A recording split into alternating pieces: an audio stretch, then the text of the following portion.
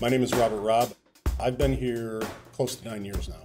Rack panels, wall plates, breakout boxes, whatever they need to finish a project on their end. If the customer doesn't find the cookie cutter thing they need on the shelf, we offer that customizable option. They draw it up in the BTX Pro software. Our department takes it, makes it reality. That's what I love about this job. It's not just the cookie cutter day to day stuff. It's fun for me, it really is. I know our customers have project lead times as well. If we're not the best, they're going to take their business elsewhere. I want it clear cut as to what I'm giving them so once they get it in the field and if they need to install any additional components into it, if we can get them exactly what they need on time, everybody's happy.